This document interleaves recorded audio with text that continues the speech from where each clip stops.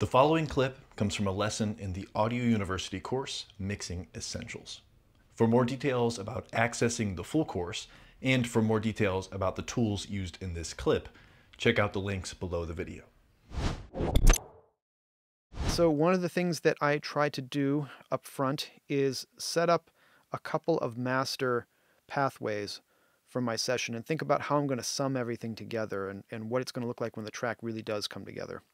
And one of the practices that I like to employ is the utilization of submaster faders. And I'm going to create them now so that you'll see what that looks like. One of them is going to be called uh, music, and then we're going to do another stereo aux track, and I'm going to call it Vox. And then I'm going to create another track, and this is going to be my master for my session. So make that stereo master fader. And I'm just going to hit create. Okay, so all the way to the right of my session, I always put my submasters all the way to the right. That way they're easy to find. Uh, I know where they are. And the real trick here is in the routing. So in my I.O. setup, I am going to create a routing path for these through the via the buses in Pro Tools. So uh, I'm going to just take a, start by taking everything here and um, renaming it. So uh, let's see, bus 1, 2. Uh, well, you know what? Let's do this. Let's create. Bus 2122 is going to be my music sub.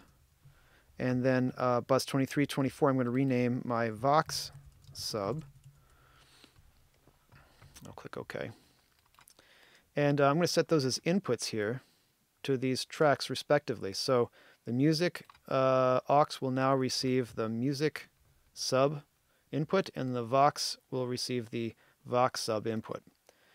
Now uh, these will both feed the output um, which are, are, going to be on my master fader. And uh, what I'm going to do is take all of the elements in my mix and set their outputs to zero or, or nothing. Um, and the reason I'm going to do that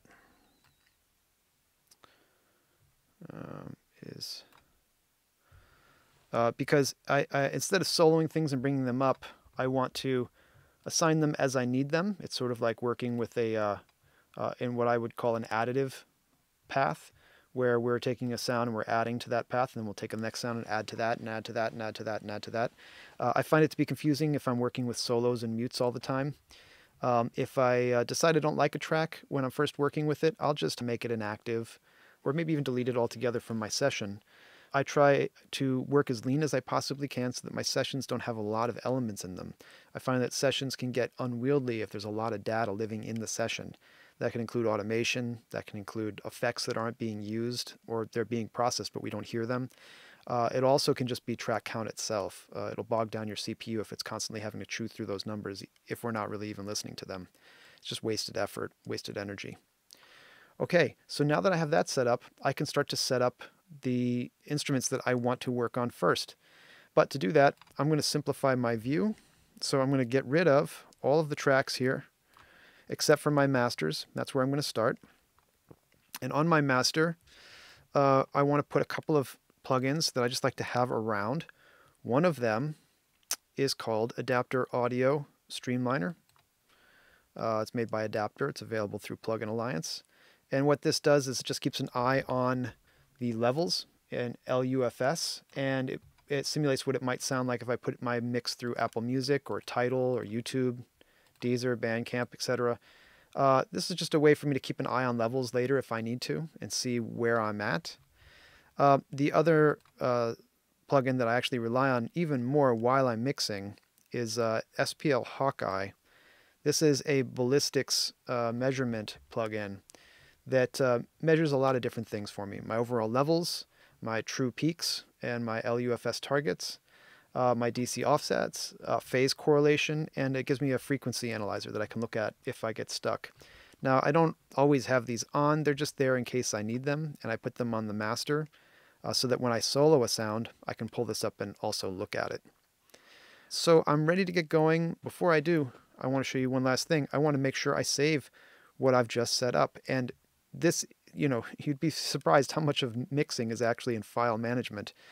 Um, I have a way of doing my mixes where um, I put a tag at the end of my sessions uh, so that if I have a name and then I save that session, I always save it with the following numbers the year, followed by the month, followed by the day, and then I put a decimal point in an iteration.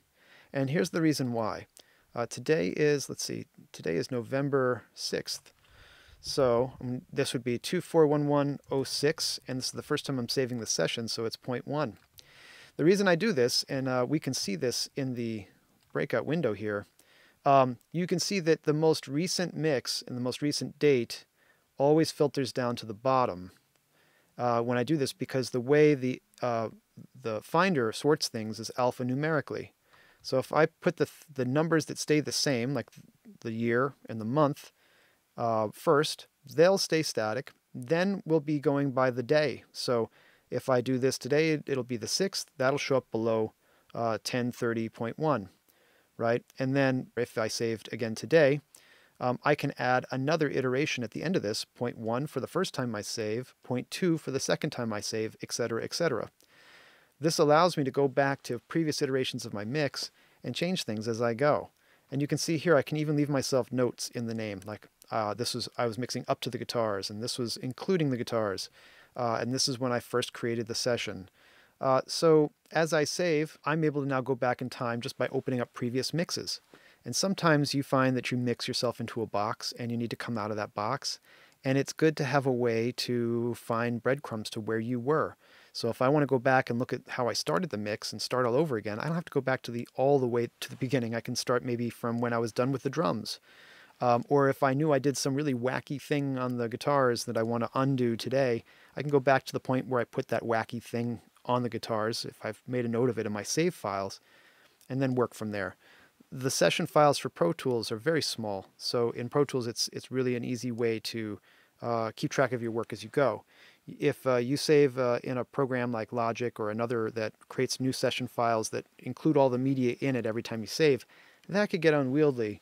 So uh, you might try to just make sure you're saving the name of the session as something different and uh, see what you can do about data management. Um, again, I'm just showing you what, what I do in Pro Tools. I find this to be really important, especially when you're working with clients uh, who want you to go back and maybe make some revisions. It's good to leave breadcrumbs for yourself.